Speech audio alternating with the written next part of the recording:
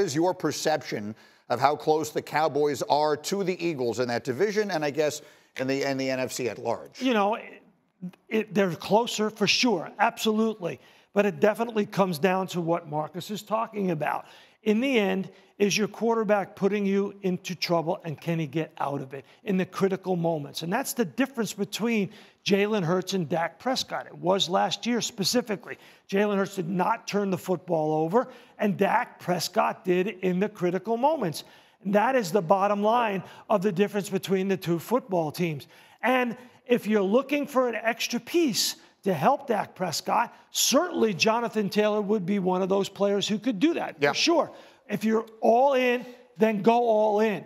If you think the circumstances around your team within your conference put you in the best possible position, then get that one player like the Eagles did with A.J. Brown last yeah. season. You know what? We didn't get to when we talked about this in the first hour of our program today. I asked everyone on this set to pick the winner of the NFC East. Oh. And I've got it here. It says Greeny, Eagles. Swagu, Eagles. Sal, Eagles. Graziano, Cowboys. The smart Talk one. to me, Danny. Well, the last time the same team won the NFC East two years oh, in a oh, row was 2003, 2004.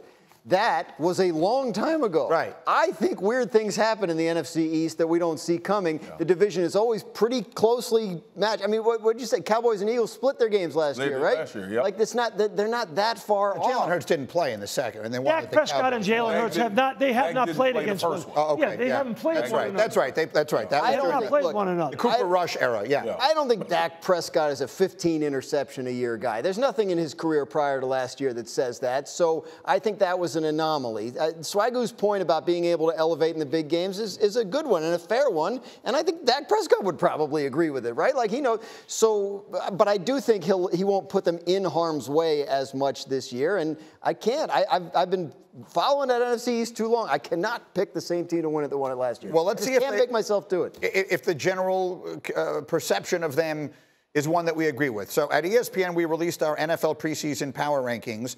And the NFC East is very well represented. If you look at this closely, I'll get to my bone to pick a little bit later. no wonder but if you look at it, there's not a lot of NFC representation here, Marcus.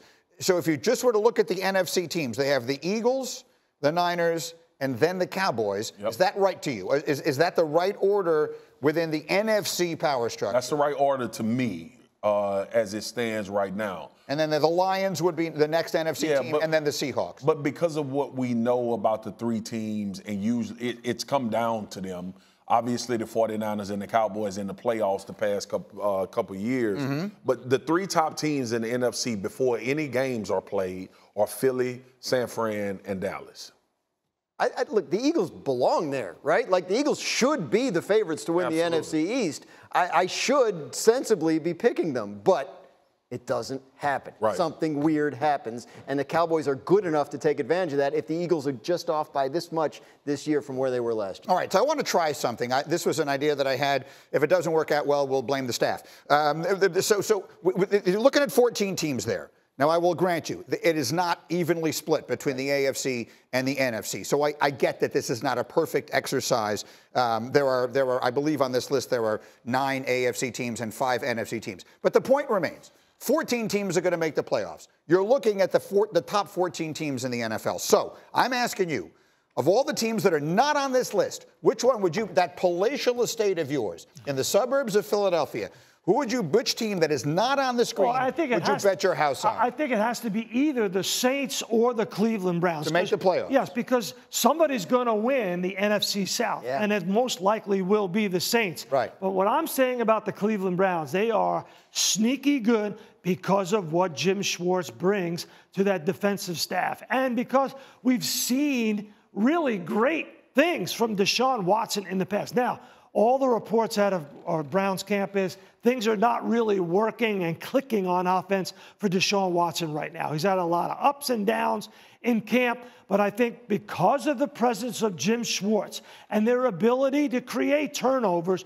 defensively, they have a chance to sneak into the playoffs. Again, these are the teams that you would be you would bet anything you wanted are going to make the playoffs this year who were not listed there. Graziano, you did take New Orleans for that reason. Because there's no NFC South team in the top 14, and, and yeah. Sal's correct. The rules say someone has to win it. Look, Right. they are. I think they have the best quarterback in their division. Yes. I think when you look at the strength of schedule metrics, whatever those are worth, but I mean, like if you look at it ahead of the season, the Saints Very have important, the Dan. easiest. Very And the Falcons have the second easiest. That division has has it easy this year. Yes. I, I think I think they're well positioned and probably win more games than than you would think given the schedule. Barring a Michael Thomas being available all year, would not shock me if the Saints ended up in the NFC Championship. Ooh. It wouldn't shock me at all. I think Derek Carr. would I think me. Derek Carr Sure. is very overlooked. But it wouldn't shock me, Sal, for, for the same reason I'm talking about Dallas. It's not deep in the NFC. And the Saints have the easiest road to go into the playoffs. Yeah. They, they- like the Saints can will play a home game. Yeah. Like, they could play so, a home so game. it is, and, and, and remember, this team hovers around the playoff when they suffer from a lot of injuries and don't have a But good there's a quarterback. quarterback too that needs a moment in the postseason. Yeah, Derek Carr. Derek Carr. Which he's surrounded by guys that can absolutely Same afford him as to Dak have it. Prescott. Yeah, but I, I went with Minnesota because one, I think like like as as as hard as I am on Kirk Cousins, Kirk Cousins is very good at, at playing a position. Justin Jefferson is arguably the best wide receiver in the NFL. This offense under Kevin O'Connell is still going to be electric. I know Dalvin Cook left the building, but obviously it's And Adam of- Thielen. and, and Thielen, but it's a change of philosophy, and it's because of that young superstar that they have at, at uh, wide receiver. And defensively, they made a change coordinator wise, which is the reason why last year nobody believed Mm-hmm. that the Minnesota Vikings were a legit threat to go to the Super Bowl. It was because of their defense. That offense was as good as anybody in the NFL. The same thing with Jim Schwartz, Brian Flores. Brian Flores, yeah. He changed, and you know I'm when sorry, you talk to say his people, name 'cause I'm- when you talk to people in Minnesota, they're saying, and even Justin Jefferson was quoted as saying this week, "Listen, when we line up against Brian Flores and that defense, we never know where they're coming they from." They are going to be better. Thank you for watching ESPN on YouTube. For live streaming sports and premium content, subscribe to ESPN Plus.